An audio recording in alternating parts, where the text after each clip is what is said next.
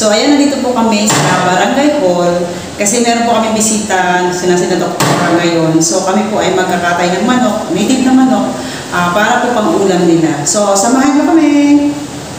At eto na nga ang aming dalawang perasong manok na native. Ayan, ito ang aming papaulam kay doktora kasi dadating sila ngayon para sa check-up ng mga senior citizen na gaganapin ngayong araw.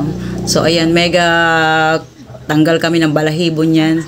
Si daw kasi marunong magkatay, hindi ako marunong. Hanggang ano lang ako, pagkatanggal ng balahibo. Ayan, maraming salamat kay Dao. Talagang pinagbigyan niya ako. Isang tawag ko lang talaga sa kanya. Talagang maaasahan siya. Siya isang barangay tano dito sa amin. Pagkadating doon sa pagkatay talaga ng manok, talagang hindi mo ako maaasahan. Kaya, ayan, ganyan lang ako. Katukatulong lang ako sa pag-aalis ng balahibo.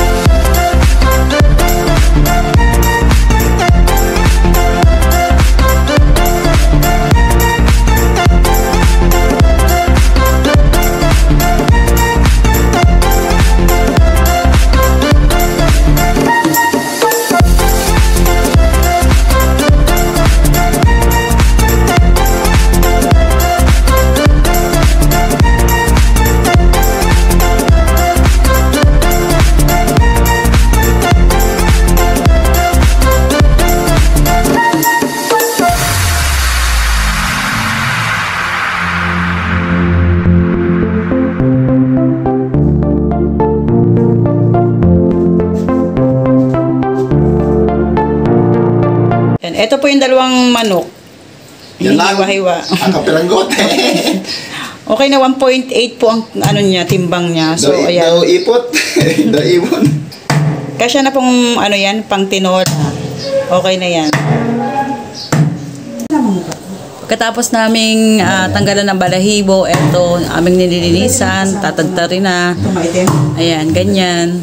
Pero katulong pa rin ako, syempre.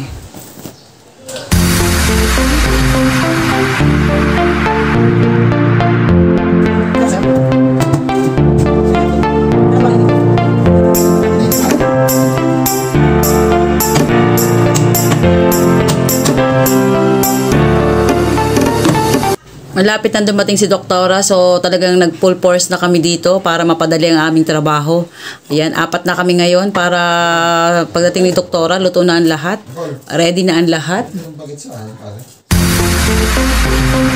Kurente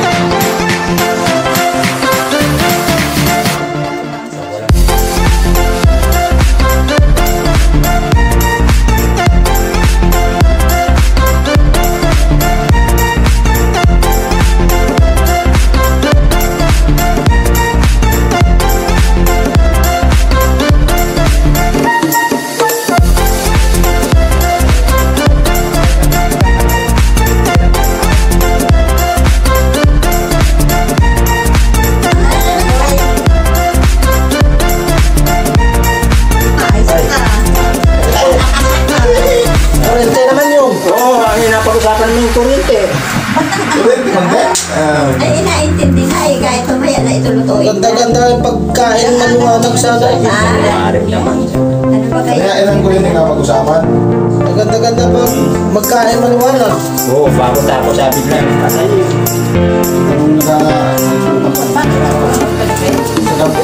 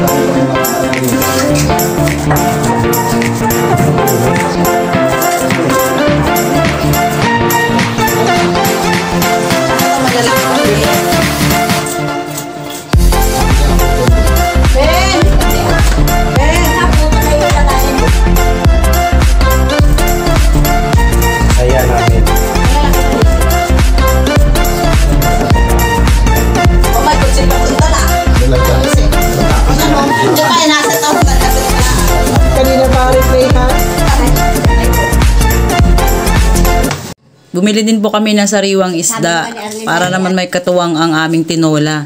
Dito po sa amin talaga ang mga isda ay sariwa kasi malapit po kami sa dagat at anytime pong gusto nyo kumain ng isda talaga namang meron makukuha.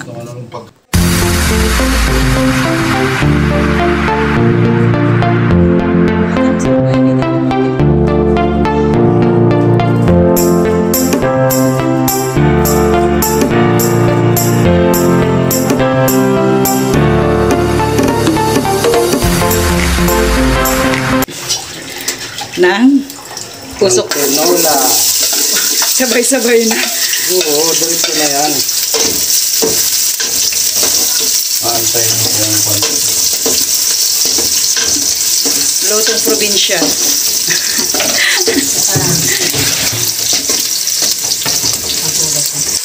Binigisa po.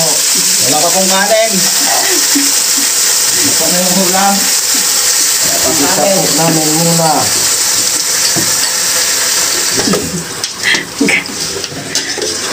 mastership. Yo.